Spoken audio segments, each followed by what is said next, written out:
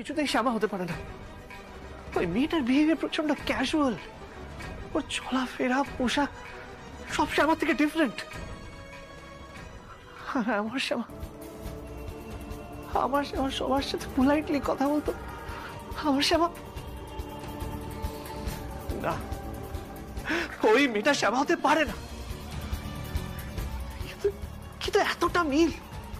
ওই মেয়েটার সাথে আমার শ্যামা এতটা মিল, হতে পারে মেয়েটা ফর্সা, কিন্তু কিন্তু জানি না কেন, গন্ডগোল আছে। কিছু একটা গন্ডগোল আছে। করা যাবে। শোনো, শ্যামা সেদিন স্টেজে যে শাড়িটা পরে উঠেছিল, সেরকম একটা আইডেন্টিক্যাল শাড়িও আমি জোগাড় করার ব্যবস্থা করে ফেলেছি। এখন শুধু অপেক্ষা।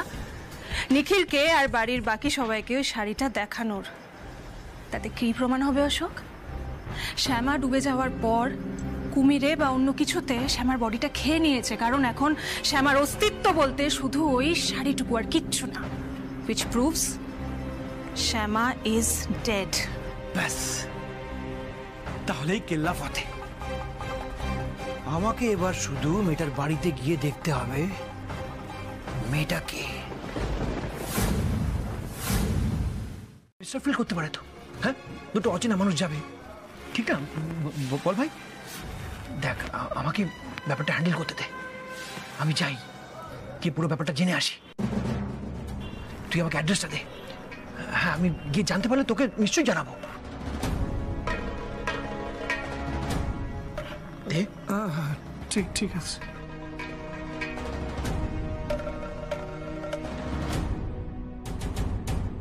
এটার মধ্যে অ্যাড্রেস লেখা আছে। বাড়ির নাম শিপ্রা।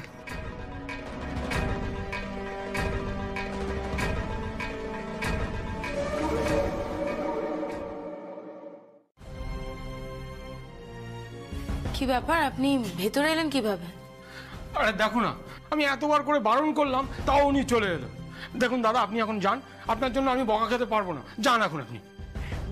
ম্যাডাম আসলে আমি একজন সেলসম্যান। বুঝতেই তো পারছেন আমাদের টার্গেট থাকে ফুলফিল না করতে পারলে চাকরি চলে যাবে। বেশিক্ষণ সময় নেব না পাঁচটা মিনিট দিলেই হবে। ঠিক বুঝতে পারলাম না কে আপনি আর কি চাইছেন? বলছি যদি মানে বসে বলা যেত বেটার হতো আমার মনে হয় খুব জল তেষ্টা পেয়েছে। আসুন সনাতন দা, এক গ্লাস জল পাঠাও। আসুন আপনি।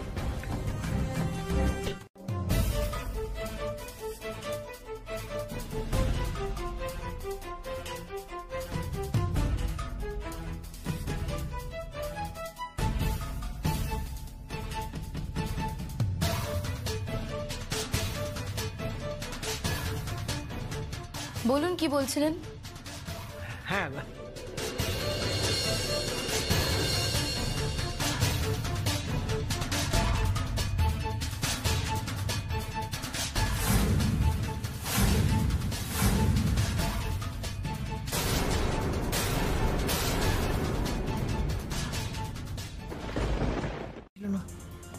তাছাড়া শ্যামা তো নদীর জলে পড়ে গেছিল। ওইখান থেকে ওর বেঁচে আসা কখনোই সম্ভব না। আমার মনে হয় শ্যামার মতন দেখতে। কিন্তু শ্যামা নয়। Thank you madam thank you very much. আসলে বোঝেনি তো, সেলসম্যানদের কাজ রোদে ঘুরে ঘুরে। এই সময়টা দিলেন খুব ভালো লাগল। টার্গেট ফুলফিল না করতে পারলে খুব চাপ।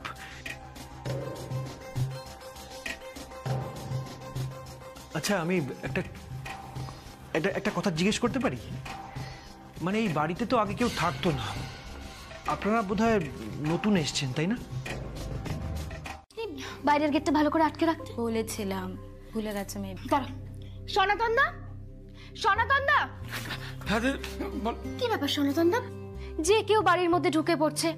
আগের দিন তো নিজেই দেখলে কেউ একটা বাড়ির মধ্যে ঢুকে পড়েছিল। তাতে তো আমরা সবাই ক্লিয়ার হয়ে গেছি এটা যে এই পাড়ায় নিশ্চয়ই চোর আছে। হ্যাঁ আমি মানছি তুমি সাদা সিধে লোক অত বুদ্ধি শুদ্ধি নেই। কিন্তু এবার থেকে যেন আর গেট না খোলা থাকে। মনে করে কিন্তু বন্ধ করবে। হ্যাঁ মাম দিদি। তুমি যেটা বললে এবার থেকে সেটাই হবে। আমি এক্ষুনি গিয়ে গেট বন্ধ করে দিচ্ছি। তুমি কোনো চিন্তা করো না। তুই প্র্যাকটিস কর। যা। কোন বেচারারা মন খারাপ করে থাকে? আজকে বাড়িতে পুজো লোকজন আসবে। মা ওদের তো এক্সাম চলছে। আর যদি না যায় ওই রিপোর্ট কার্ডে যদি খারাপ কিছু লেখে তাই হ্যাঁ মা। আমি বর্দি ভাইকে বললাম, শুধু শুধু স্কুল কামাই করে তো লাভ নেই, আর তাছাড়া ওদের পরীক্ষাও চলছে। আর শ্যামার কাজ আজকে, শ্যামার জন্য এই যোগ্য। ওদের না থাকাই ভালো। দেখেছ তো, এখনও ওরা শ্যামার নাম শুনলে কিরম কান্নাকাটি জুড়ে দেয়। হ্যাঁ গো, আমাকে খালি জিজ্ঞেস করতে থাকে, বাবা কবে আসবে, ছোট কাম্মা কবে আসবে? আমি ওদেরকে তো কিছু একটা বলে বুঝিয়ে দিই। কিন্তু এর উত্তর তো আমার নিজের কাছেই নেই।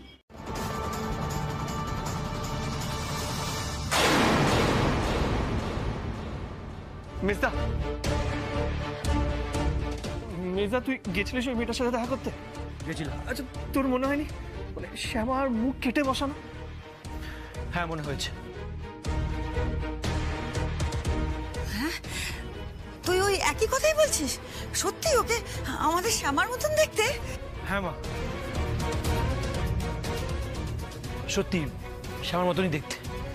আমি তো প্রথমে চমকে গেছিলাম। কিন্তু হ্যাঁ গায়ের রংটা ফর্সা।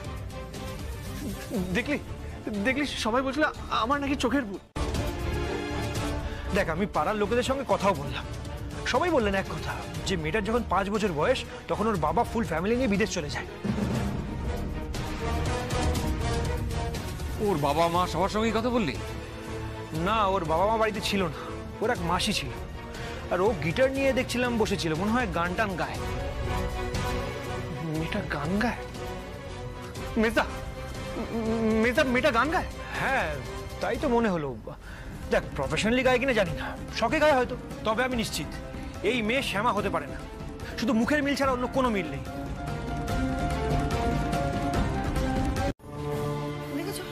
নিখিল ওরম করছিস কেন?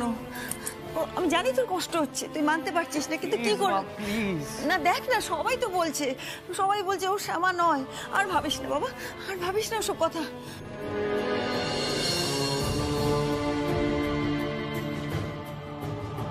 নিখিল শোনা চল আমরা ওদিকটা গিয়ে বসি। ওই পুরুত মশাই অনেকক্ষণ এসে গেছে জোগাড় যন্ত্র হয়ে গেছে পুজো শুরু করবেন। চল চল আয় আমার সঙ্গে। চলো বড় বৌমা বসো।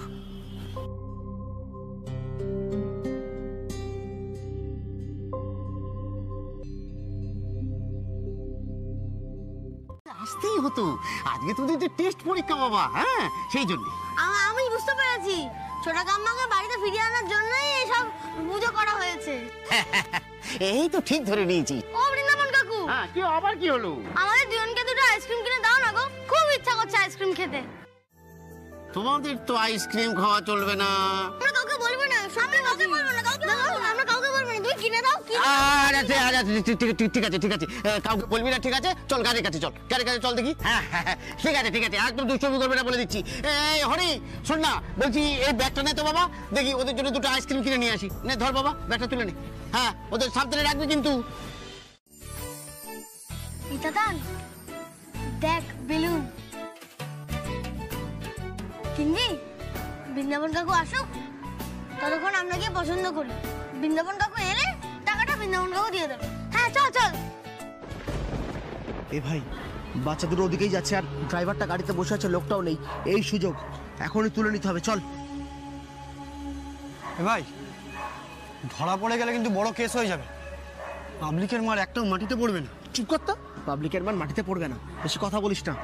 বাচ্চাদেরকে একটু লোভ দেখাতে পারলেই হবে। আমি যেটা বলছি শোন বাকিটা আমি বুঝে নেব চল। আমার খুব ভয় করছে আরে ভয়ের কি আছে হ্যাঁ? ভয়ের কি আছে? আমরা আমরা যাব ওখান থেকে গ্যাস বেলুনগুলো কিনবো কিনে এখানে চলে আসব।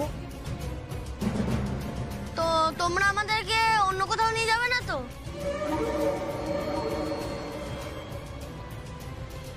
যখন তোমরা বেলুন নেবে না আমরা চলেই যাই। চল আমরা আরও কটা বেলুন নিয়ে আসি। ওরা বাচ্চা বলে ওদেরকে ভালোবেসে দিতে চেয়েছিলাম। ঠিক আছে চলি। চল না রে ডোডো কি হবে গেলে? আমরা যাব টুক করে বেলুনটা নিয়ে চলে আসব। ততক্ষণে বৃন্দাবন কাকু এসে যাবে। আচ্ছা ঠিক আছে যখন তুই বলছিস তাহলে চল। চল চল। হ্যাঁ।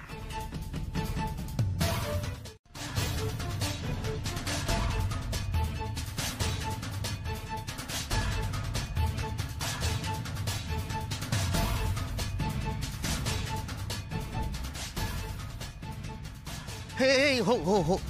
হরি হ্যাঁ হরি। দুটো দাঁতের কোথায়? এই তো এখানেই ছিল কোথায় গেল দেখছি না তো? কি বলছিস কি? এখানেই ছিল দেখতে পাচ্ছি না। কই? আশেপাশে তো আমি কোথায় দেখতে পাচ্ছি না। একটা দায়িত্ব দিলে তুই ঠিকঠাক করে পালন করতে পারিস না। কি ছেলে বলতে কি? আমি কোথায় খুঁজবো এই বাচ্চাগুলোকে হ্যাঁ? ওম বিষ্ণু ওম বিষ্ণু ওং তদ বিষ্ণু পরমং পদং সদা পশ্যন্তি সুরয় দিবীব চক্রদাম কোথায় যাচ্ছিস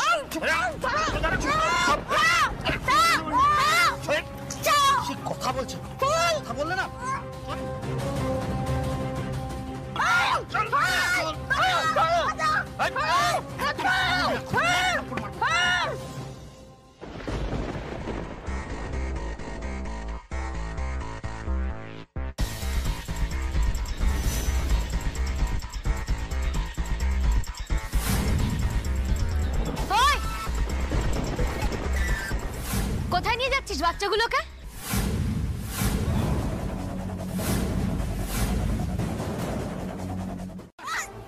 আপনি কে বলুন তো, ম্যাডাম হ্যাঁ? যাই আপনার। আর আমাদের কাজে বাধা দিচ্ছেন কেন? শুনুন, ভালো চাইলে এখান থেকে চলে যান। নিজের বিপদ বাড়াবেন না।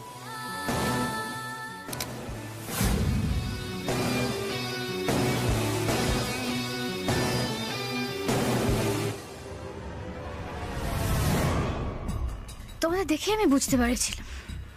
এখানে নিশ্চয়ই কোনো গন্ডগোল আছে। কি? ওদেরকে তুলে নিয়ে যাওয়া হচ্ছে। হ্যাঁ করছি। তো কি হয়েছে হ্যাঁ? বেশি কথা বলবেন না।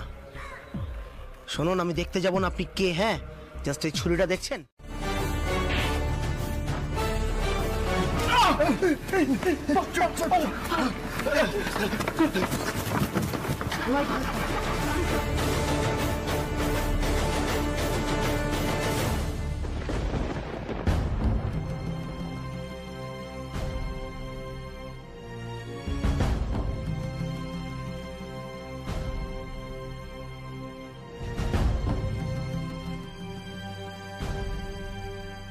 দুটো দাদান তোরা কিছু না বলে কোথায় চলে গেছিলি বাবা? আমি কোথায় কোথায় তোকে খুঁজে বেড়াচ্ছি বল দেখি। আপনিও তো ওদের খেয়াল না রেখে ছেড়ে দিয়েছেন।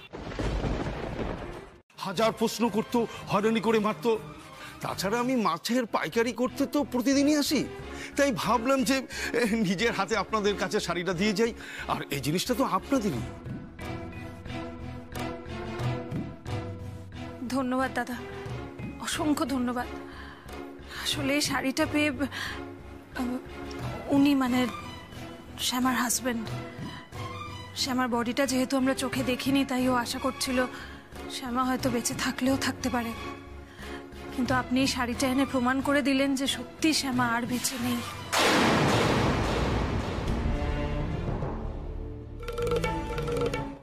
আদিত্য চৌধুরী আর রমেন দাসী হলো আসল দোষী। আর আজ আমি কথা দিচ্ছি। ওদের আমি খুঁজে বার করবই। আই প্রমিস ছাড়বো না ওদের। কিছুতেই ছাড়বো না।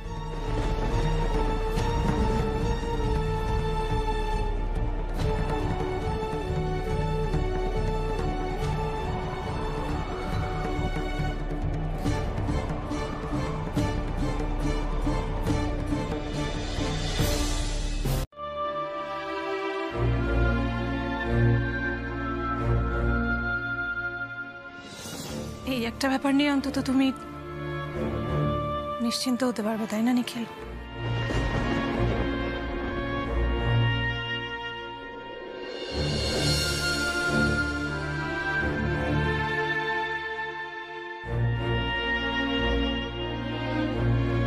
কি অদ্ভুত ব্যাপার, দেখো মা। আজকেই আমরা শ্যামার নামে এরম যজ্ঞের আয়োজন করেছি। আর আজকেই আজকে এই শাড়িটা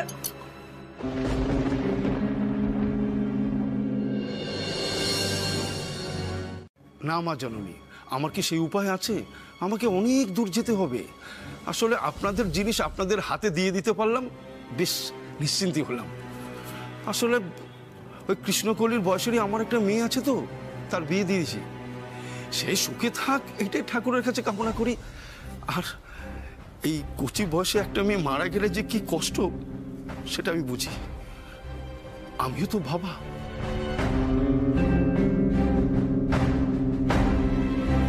তাহলে আমি আসি।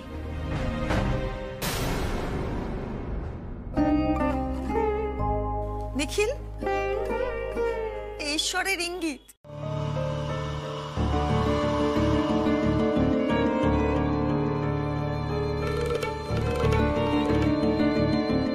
যে চলে গেছে তাকে তো আর ফিরিয়ে আনা যাবে না নিখিল। তবে তবে নিখিল অন্তত বর্দা ভাইকে যদি আমরা ফিরিয়ে আনতে পারি।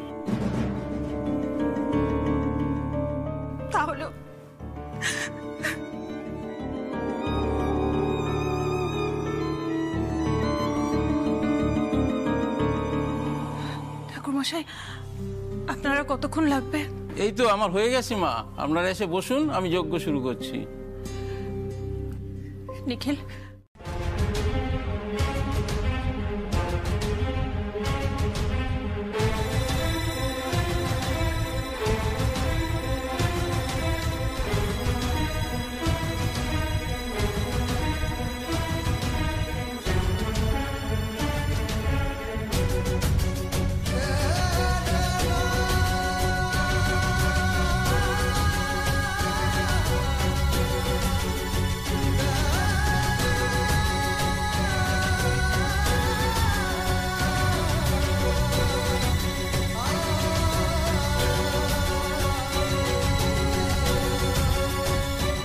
তুমি সত্যি আমাকে ছেড়ে চলে গেলে?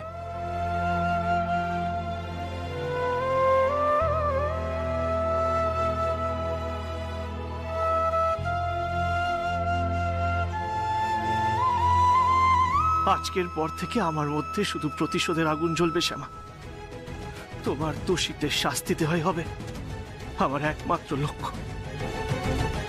কিন্তু তোমার কাছে আমার নালিশ থেকেই গেল শ্যামা। আমাকে এভাবে একা ফেলে কেন চলে গেলে তুমি? কেন?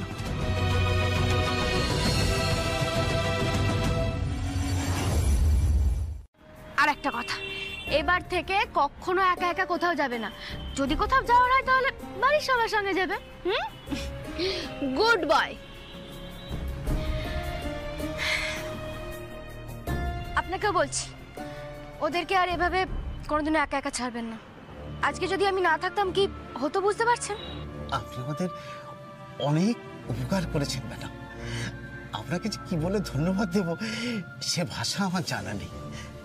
বড় তাতান এবার চল। বাবা ওনাকে ছেড়ে দে, এবার আমরা গাড়িতে গিয়ে বসি। আমাদের দেরি হয়ে যাচ্ছে।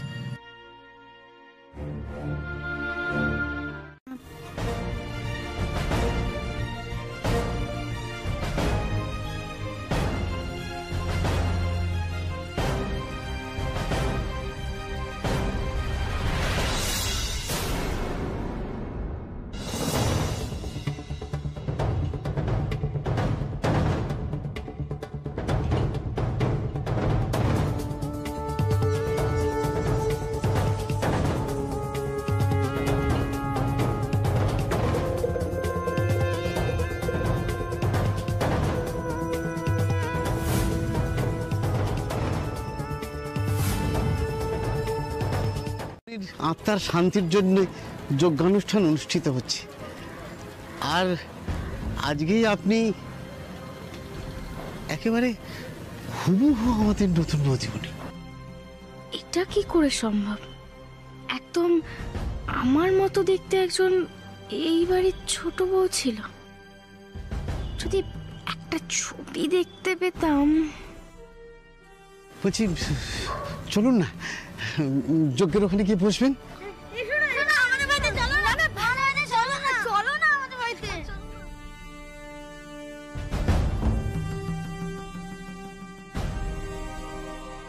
শ্যামা ভেবেছিলাম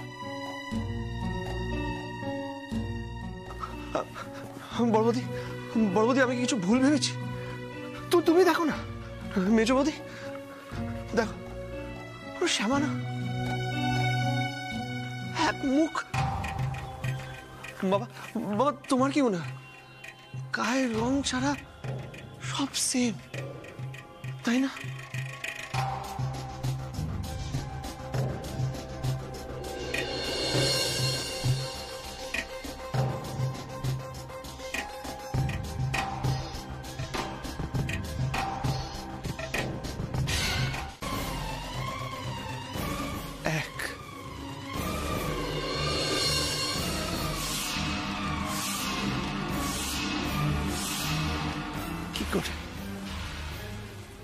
দুজন মানুষ আলাদা হতে পারে?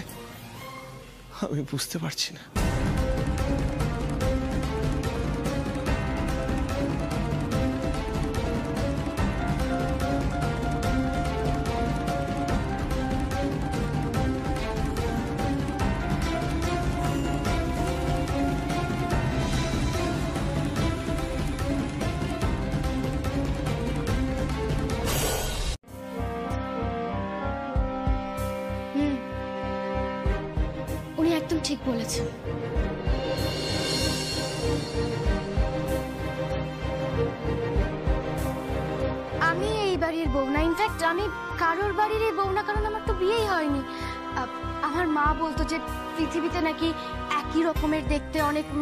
আছে। দেখা না হলেও তারা থাকে, কিন্তু আজকে নিজের চোখে দেখার পর তো আমি জাস্ট আমার খুব খারাপ লাগছে। উনি থাকলে হয়তো আমার সঙ্গে ফ্রেন্ডশিপ হয়ে যেত।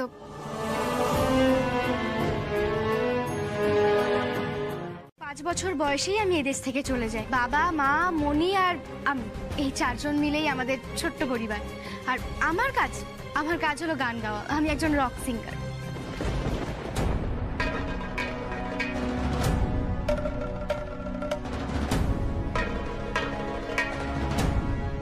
তুমিও গান করো? হ্যাঁ। সরি তুমি করে বলে ফেললাম। আসলে তোমাকে দেখে আমার মনে হচ্ছে আমি আমার ছোট বৌমার সঙ্গেই কথা বলছি।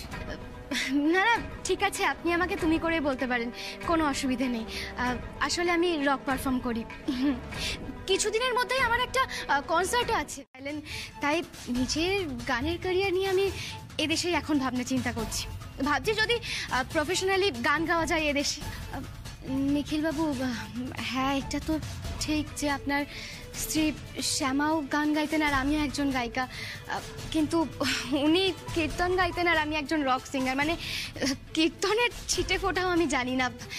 এর থেকে তো ক্লিয়ার হয়ে যাচ্ছে যে আমি আপনার স্ত্রী শ্যামা নয়।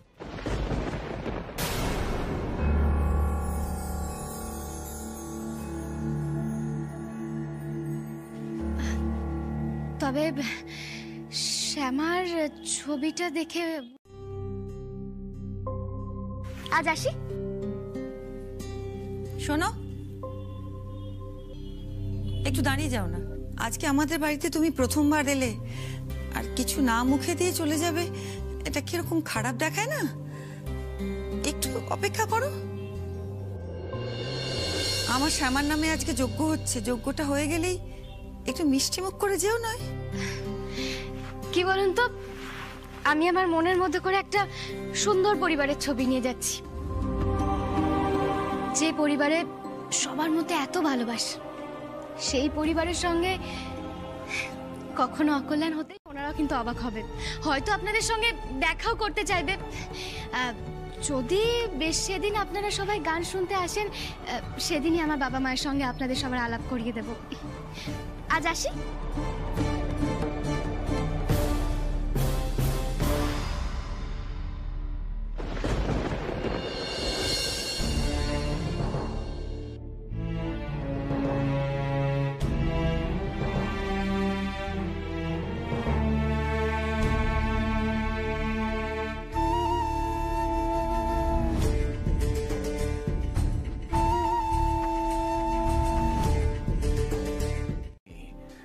শ্যামা ছিল গ্রাম্য মেয়ে।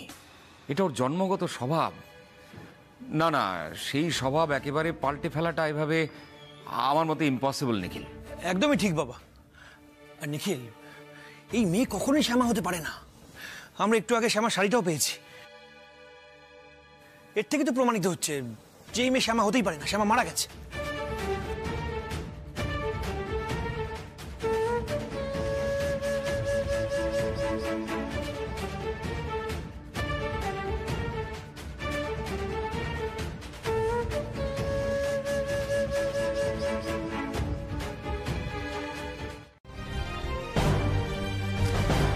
কিচ্ছু হবে না। দেখো, বাবা তো দেখছে যে আমি কত কাজ করছি, দিন রাত খাটছি হ্যাঁ? বিজনেসটা একাই সামলাচ্ছি। আর নিখিল কি করছে? খাচ্ছে, দাচ্ছে, ঘুরে বেড়াচ্ছে, আর শ্যামাকে খুঁজছে। আমি তো বাবাকে বলে দিয়েছি যে, পাওয়ার অফ অ্যাটর্নি আমার চাই, নাহলে আমি স্বাধীনভাবে কাজ করতে পারছি না। বড় সব গুছিয়ে দিয়েছ? হ্যাঁ মা। বাকি সব গুছিয়ে নাও। নিখিল কি ভাবছিস এখনও? শুধু সইটা হয়ে যাক। তারপরে কি করে রাজত্ব করতে হয় আমি দেখাবো। Ashok Ashok I am so proud of you hey তোমার মাথায় এত বুদ্ধি কবে থেকে হলো বলো তো? তুমি সত্যি আমার দারুণ খুশি করে দিয়েছ আজকে। আমি am really really happy Ashok thank you thank you বসো। এত এক্সাইটেড হয়ে না। আস্তে আস্তে আস্তে আস্তে আস্তে। দেখো আমি যা করছি আমাদের সন্তানের জন্য করছি। আমি চাই ও একটা ল্যাভিশ লাইফ লিড করুক। কোনো কিছুর অভাব হতে দেবো না ওর। কিন্তু অশোক তাও একটা প্রশ্ন যে রয়ে গেল। আবার কি প্রশ্ন? তারপরে মনে হলো, না না, এ আমার মেয়ে নয়, এ আমার শ্যামা হতেই পারে না। আমার শ্যামা হলে এতদিন বাদে দেখা হচ্ছে। ও অত দূরে দাঁড়িয়ে থাকতে পারতো, পারতোই না। ও ছুটে এসে আমার বুকে ঝাঁপিয়ে পড়তো, আমাকে জড়িয়ে ধরতো। ওই তেমনটা তো করল না। ও আমার মেয়ে না, ও আমার শ্যামা না, কখনোই না। আর এই কথাটা তোমাদের সকলকে বুঝতে হবে যে আমাদের শ্যামা নেই, চলে গেছে। সবাইকে ভালো করে বুঝতে হবে, বিশেষ করে তোকে নেই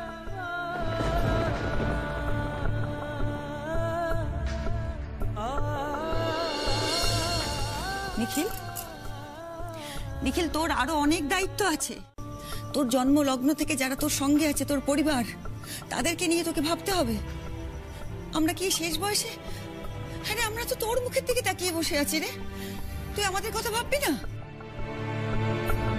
আর তোর মেজদা ভাই, কতদিন অফিস একা হাতে সামলাবে বলতো?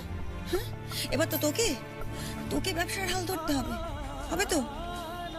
আর তোর বর্দা ভাইকে তুই খুঁজে আনবি না বুঝি? কি রে? মায়ের কোলে ফিরিয়ে এনে দিবি না তোর বর্দা ভাইকে?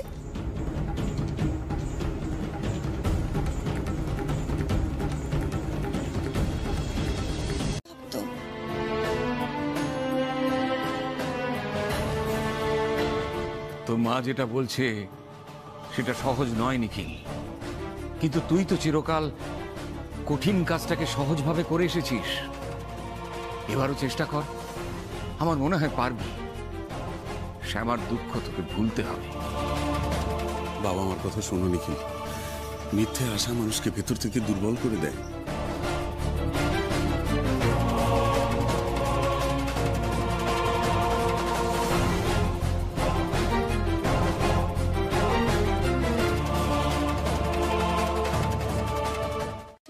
বলছিস নিখিল? কি হিসেব মেলাবি তুই? বুঝলে না মা, যারা আমাদের সাথে ভয়ঙ্কর খেলাটা খেলল, সেই খেলাটা শেষ দান আমি দেব।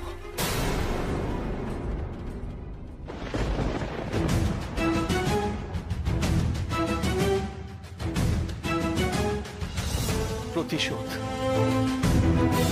প্রতিশোধই আমার জীবনের এখন একমাত্র লক্ষ্য। প্রতিশোধ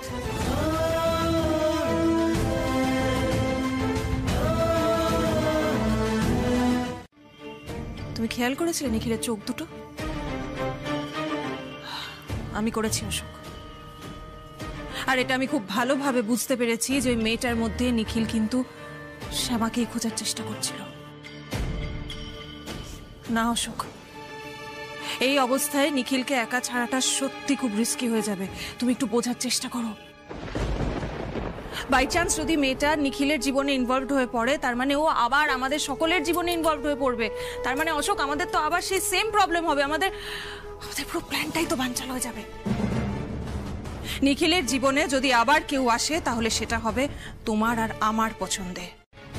শুধু কাজের মধ্যে নয় অফিস আওয়ার্সের বাইরে ওকে বলো নিখিলের সঙ্গে সময় কাটাতে। ওরা ওরা ঘুরতে যেতে পারে, সিনেমা দেখতে পারে রেস্টুরেন্টে যেতে পারে। মোট কথা নিখিল যেন কোনোভাবেই শ্রাবণী গ্রিপ থেকে বেরোতে না পারে। সেটা হলেই কিন্তু নিখিল আবার ওই মেয়েটার পাল্লায় পড়বে, অশোক। সেটা হলে আমাদের সেটা হলে আমাদের প্ল্যানটাই তো পুরো নষ্ট হয়ে যাবে। তুমি চিন্তা করো না, দিশা। আমাদের এই সাজানো বাগান আমি নষ্ট হতে দেব না। নিখিল চৌধুরীকে একবার আউট করতে পেরেছি আমি। সেকেন্ড ইনিংস ওকে আমি খেলতে দেব না। কিছুতেই না। হবে যাতে অন্য কেউ তোর জীবনে আসতে পারে। জীবনটা এইভাবে শেষ হয়ে যেতে পারে না। সারা জীবন তুই নিঃসঙ্গ হয়ে একা একা থাকবি, এটা তো হতে পারে না। তোকে আবার ভালোবাসতে হবে। আর কাউকে নিয়ে বাঁচ নিখিল তোকে বাঁচতে হবে। শ্যামার হত্যাকারীর ওপরে প্রতিশোধ নিয়ে তুই কিচ্ছু লাভ করতে পারবি না। বাবা একদম ঠিক বলেছে নিখিল। বাবার সঙ্গে আমিও একমত নিখিল। এইভাবে নিজের জীবনটা নষ্ট করার কোনো মানেই হয় না। আর আমি আমি সেটা মেনেও নিয়েছি। কিন্তু বাবা শ্যামার সাথে যারা এই অন্যায়টা করেছে মা মা শ্যামার সাথে যারা এই অন্যায়টা করেছে, তারা যদি বেঁচে থাকে, তাদেরকে আমি নিশ্চিন্তে বাঁচতে দেব না, মা। কোনোদিনও দেব না। আর একদিন ওরা আমার ট্র্যাপে পড়বে। আর সেদিনটা সেদিনটা আমার হবে, মেজদা। প্রতিশোধ আমি নেবই। নিখিল নিখিল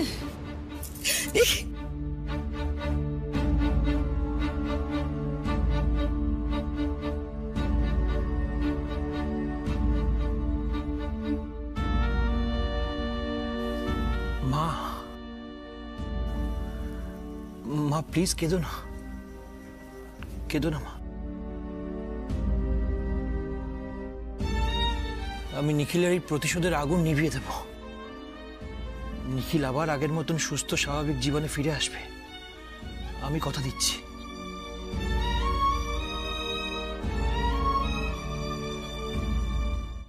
খুব ভালো গান গান মানে জাস্ট দারুণ গান গান। আমি কিছুক্ষণ আগে নেটে ওনার গান সার্চ করছিলাম। দাঁড়া, তোকে শোনাচ্ছি। ও হ্যাঁ এই বছরের ইন্টারন্যাশনাল মিউজিক স্টার কম্পিটিশনে আমাদের দেশকে উনি রিপ্রেজেন্ট করেছিলেন। আর মা, তুমি তো জানো এই কম্পিটিশনটায় আমিও নাম দিতে চেয়েছিলাম। আর পরের বছর এই কম্পিটিশনটায় নাম দেব বলে আমি তৈরি হচ্ছি। জানো তো এই কম্পিটিশনে গান গাইতে এসে ওনার এত বড় বিপদটা হয়ে যায়। দেখো ভিডিওতে দেখাও গেছে যে গান গাইতে গাইতে কীভাবে উনি অজ্ঞান হয়ে পড়েছেন। তোর বাবা শান্তি পায় তুই আর জানাস না তুই যা। প্লিজ আমি একা বেরোবো কারোর সঙ্গ আমার চাই না। দেখো কাকে বোঝাবে তুমি? দেখ নিখিল একা একা সব কাজ করা সম্ভব না ঠিক আছে? তোকে দায়িত্ব নিতে হবে।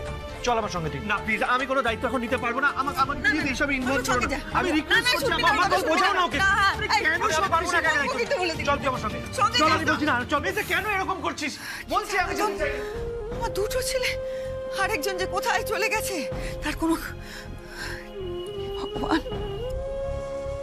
নিখিলকে সঙ্গে নিয়ে একবার মায়ের মন্দিরে পুজো দিতে যাব। নিখিলের নামে পুজো দেওয়াটা খুব দরকার। রেডি অমনি বলে দিলে। এটা কি পরে আছো? অফিসের ড্রেস স্যার অফিসের ড্রেস এখন কি অফিস খোলা আছে? দেখো তো কোনো স্টাফকে দেখতে পাচ্ছ? দেখো দেখতে পাচ্ছ কি? অফিসের ড্রেস পরে আছি। তোমাকে আমি বুঝিয়ে বুঝিয়ে ফেড আপ হয়ে যাচ্ছি জাস্ট একটু অ্যাট্রাকটিভ দেখতে লাগতে হবে। তোমাকে বলেছিলাম শাড়ি পরে আসতে। কি হলো? স্যার আমি শাড়িটা ক্যারি করেছি। গুড তাহলে কি পরিয়ে দেওয়ার জন্য অ্যাসিস্ট্যান্ট লাগবে? না না আমি এক্ষুনি রেডি হয়ে নিচ্ছি। ফার্স্ট এক মিনিট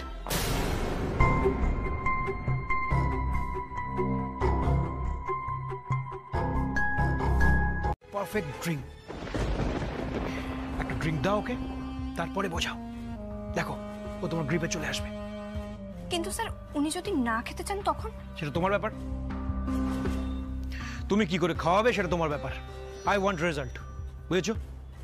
আজকে এমনভাবে ওকে গ্রিপে আনবে ও যেন মনে করে তুমি ছাড়াও জীবনটা অচল। দ্যাটস ইট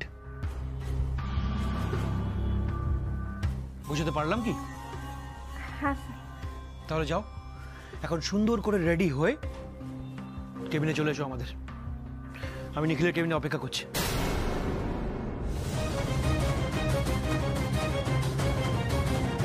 তাছাড়া আমাদের শ্রাবণী যথেষ্ট এফিশিয়েন্ট ও গেলে আমাদের কোম্পানির গুডউইল বাড়বে ভেবে দেখ। আরে কি আবার ভাবতে বসলি বলতো? না মানে মিসা আমি ভাবছিলাম আর কিচ্ছু ভাবতে হবে না। যা ভাবার আমরা যেতে যেতে ভাববো। ওকে চল দেরি হয়ে যাচ্ছে। চল চল চল চল চল চল।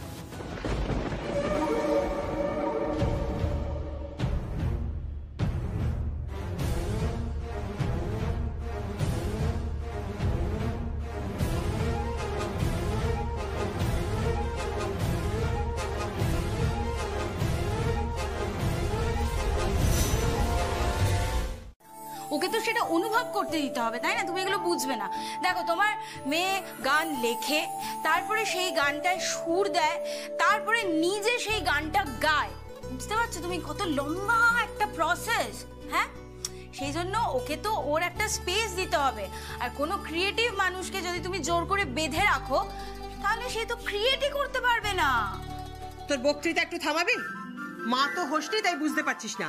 যখন মা হবি তখন বুঝবি যে মায়েদের কি চিন্তা। সারাক্ষণ শুধু মেয়ের জন্য চিন্তা করে করে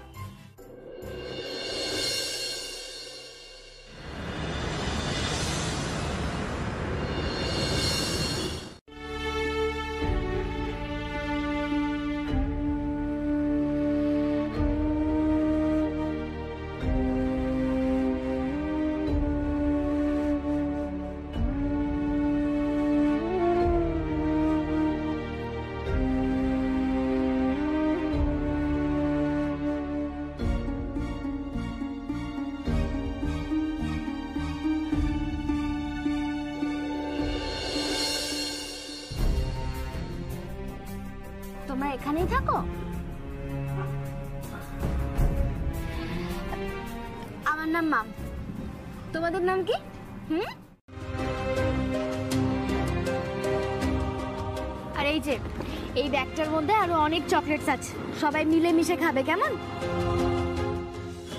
এই এখানে রেখে গেলাম। হুম? টাটা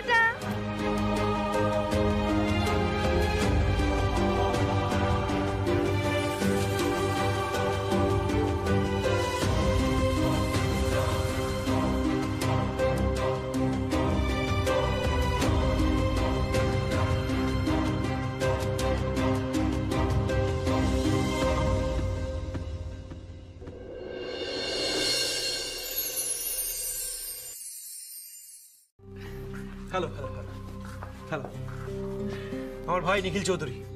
আমাদের সুস্বাদু মশলার ওয়ান অফ দ্য ওনার হ্যাঁ ওনার কথা অনেক শুনেছি। হ্যাঁ সে তো শুনবেনই। আজকে আমাদের সুস্বাদু মশলা এই জায়গায় গেছে শুধুমাত্র আমার ভাইয়ের জন্য। ও না থাকলে আমাদের ব্র্যান্ড ভ্যালু এত উপরে যেত না। কিন্তু আনফর্চুনেটলি ওর সঙ্গে কদিন আগে একটা দুর্ঘটনা ঘটে গেছে মানে ওর ওয়াইফ হুম শুনেছি। ওনার ওয়াইফ খুবই আনফর্চুনেট তারপর থেকে আমার ভাই একটু ডিপ্রেশনে চলে গেছে। আমরা অনেক চেষ্টা করছি। ওকে যাতে স্বাভাবিক জীবনে ফিরিয়ে আনা যায়। আচ্ছা আমাদের বসা যাক। আয়। আচ্ছা আলাপ করে দিন ও শ্রাবণী। কিন্তু কিন্তু আমারও যে আর কোনো উপায় নেই। অশোক স্যারের কাছ থেকে আমি অনেকগুলো টাকা নিয়েছি। আর এখন আমার সেগুলো শোধ দেওয়ারও কোনো ক্ষমতা নেই। এই কাজটা না করলে যে অশোক স্যার আমাকে আমার গোটা পরিবারকে রাস্তায় এনে ফেলবেন।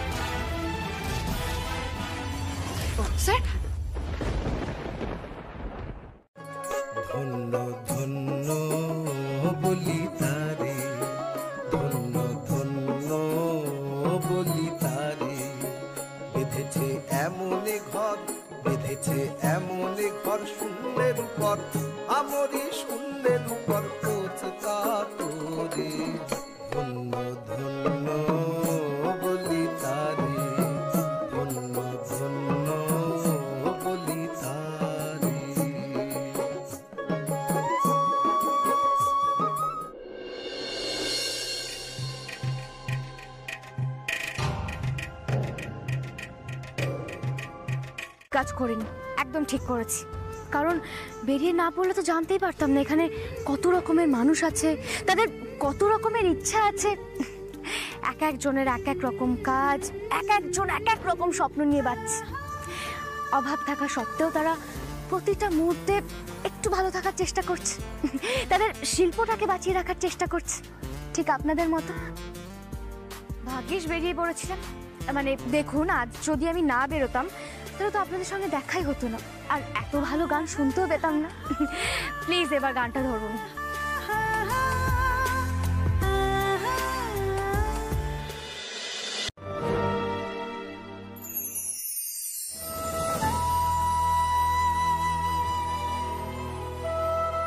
শ্যামা। এই তো আমি ছোট কর্তা। তোমার শরীর খারাপ।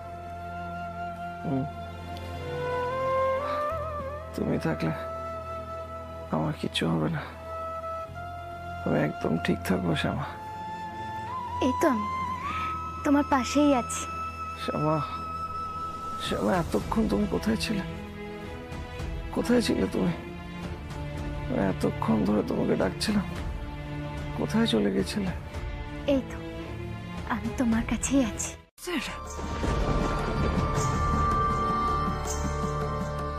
যা যা হবে সব কিছুর ভিডিও রেকর্ডিং করবে। মনে থাকে যেন আমার সব কিছুর রেকর্ড চাই।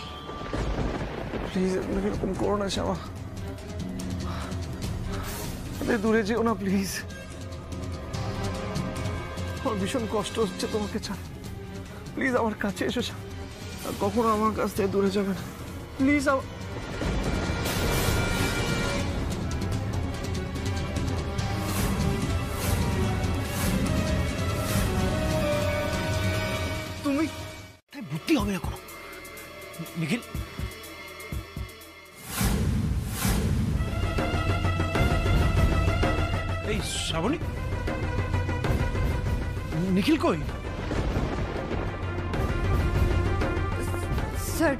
গেছেন। হোয়াট স্যার আমি নিখিল স্যারকে অনেকবার আটকানোর চেষ্টা করেছি। নিখিল স্যারকে আমি আটকাতে পারিনি। উনি বেরিয়ে গেছেন। আচ্ছা একটা কথা আমাকে বলো তো। ভিডিও রেকর্ডিংটা করেছ তো? সেটাও পারোনি? না- স্যার পারিনি। তার আগেই সেটা একদম চুপ। টাকাটা নেওয়ার সময় মনে ছিল না? এটা নোংরা কাজ? দেখো শ্রাবণী, তুমি করতে বাধ্য।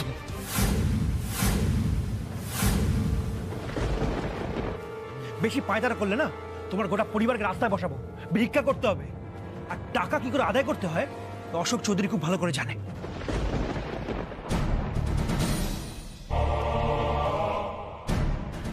এখন আগে আমাকে নিখিলকে খুঁজে বের করতে হবে। এই, সরো সরো।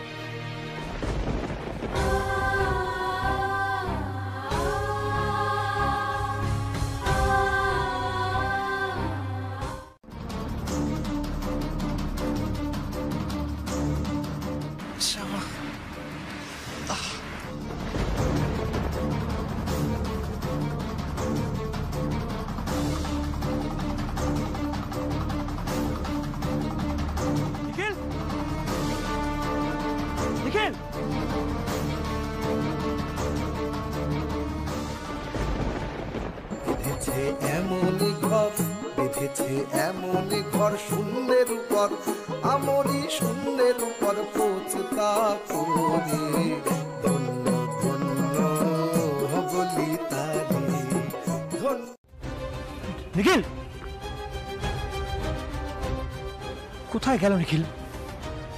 বাড়ি চলে গেল নাকি? আমিও বাড়ি চলে যাই। বাড়িতে গিয়ে যা হবে দেখা যাবে।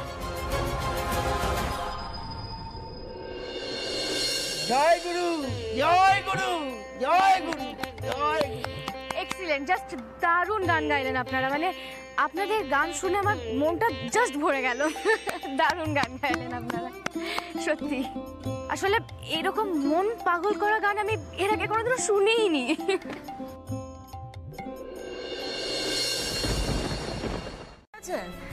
ওহ ও কি যে মনি না মনি সরি রে বিশ্বাস কর এত রাত হয়ে গেছে আমি বুঝতেই পারিনি। Sorry sorry sorry sorry please please please আরে আমি দশ মিনিটের মতো বাড়ি ঢুকে যাচ্ছি। একদম বাড়ির কাছেই আছি হ্যাঁ রে। প্লিজ মনি আর টেনশন করিস না রাখ আমি দশ মিনিটে আসছি। ঠিক আছে তাড়াতাড়ি আয়। এই দে তো ফোনটা দিয়ে আমায় দে। হ্যালো। আসছে তোমার মেয়ে। টেনশন করো না।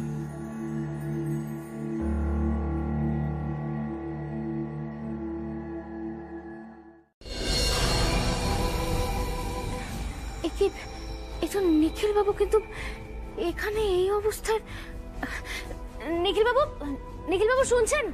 আমার কথা শুনতে পাচ্ছেন? নিখিল বাবু উঠুন! চোখ খুলুন! শুনছেন আমার কথা? শ্যামা? শ্যামা, তুমি এসেছ? আমি আমি জানতাম তুমি আসবে, শ্যামা। আমি জানতাম।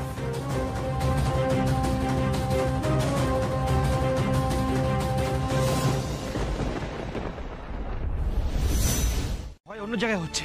লোকজন যদি জানতে কোন বাড়ির ছেলে মানে সুস্বাদু মশলার একটা অংশীদার। বুঝতে পারছ? কি হবে? কত লোক ওর ক্ষতি করার জন্য ওর পিছনে পড়বে? একবার ভেবে দেখো। একবার আন্দাজ করতে পারছ কথাটা?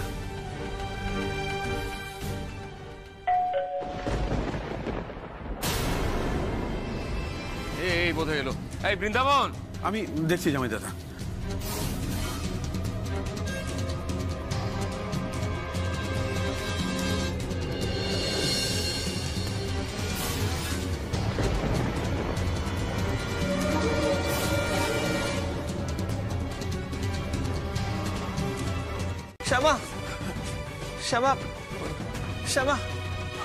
আমাকে ছেড়ে যেও না, শ্যামা। শ্য- শ্যামাকে ছেড়ে আমি যাব না। প্লিজ প্লিজ আমাকে নিয়ে যেও না তোমরা। শ্যামা